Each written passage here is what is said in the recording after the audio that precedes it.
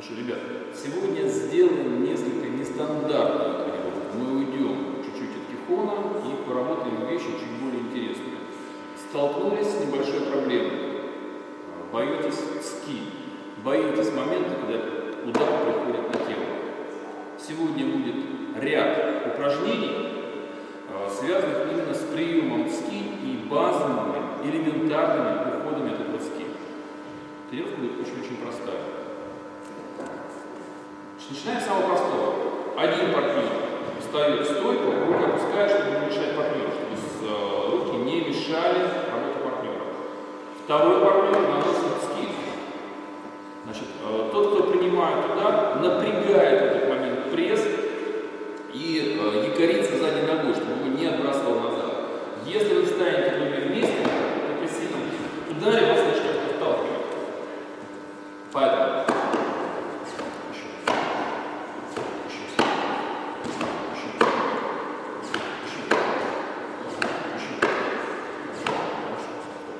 Значит, делаем так. Э, В момент удара партнером регулируется после удара. Если слишком сильно, партнер будет слабее.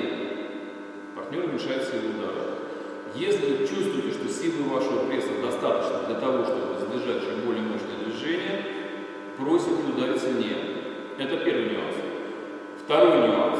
В момент удара обращайте внимание на дыхание. Оба выдыхают. Тот, кто принимает медленно сделает, делает выдох, я делаю выдох, и тот, кто бьет, точно так же делает выдох. Вы оба в этот момент должны выдохнуть. Это первое базовое упражнение на сейчас. Пробуем? Хорошо. Продолжаем тему приема ски. Еще раз, мы работаем сегодня в контакте. Учим себя не бояться движения партнера. Опыт показал, что это очень важно. Нельзя бояться касания вашего тела. Делаем очень простую вещь.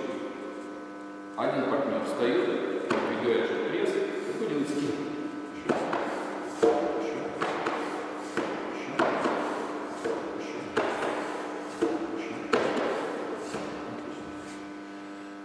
Значит, в момент ски, когда выполняет подъем, партнер напрягает пресс для того, чтобы принять плотную работу вашего партнера. В момент удара, так же как при работе рукой, оба выдыхают. Это важно. Один выдыхает в момент удара, другой выдыхает в момент приема удара. Очень важно выдохнуть тогда, когда в вас приходит удар, чтобы не было, э, скажем так, гидравлического удара по легким, аэродинамического, чтобы вы не задохнулись.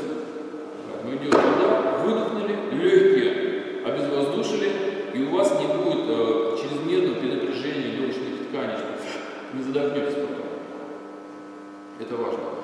Э, Второй партнер, который выполняет ски, точно так же делает выдох, для того, чтобы научиться структурировать свой поток и находить